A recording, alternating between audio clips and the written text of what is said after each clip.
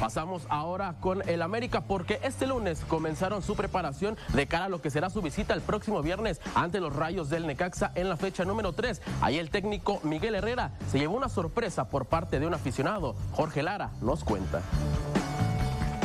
En las últimas semanas, el hashtag Fuera Piojo ha sido tendencia en las redes sociales. Y es que luego de perder los clásicos ante Cruz Azul y Chivas en la Copa por México, la afición del América ha estado molesta con el desempeño del equipo. Sin embargo, existe un sector del americanismo que está satisfecho con el trabajo del Piojo al frente de las Águilas y se lo demuestran en cada ocasión que les es posible, ya sea en redes sociales o afuera de Copa, donde pedirle autógrafos y fotos es una constante, o incluso llevándole regalos, como es el caso de este aficionado que le regaló una caja de frutas. Trabajamos en la central de abastos de aquí de Iztapalapa. Le traje unos melones, soy productor de melones de, Michoacán. Es un sueño, es un honor para nosotros que, el señor Miguel Herrera pues conoce y come de nuestros, de nuestros productos. Pero el hecho de verlo aquí, la verdad, pues es indescriptible.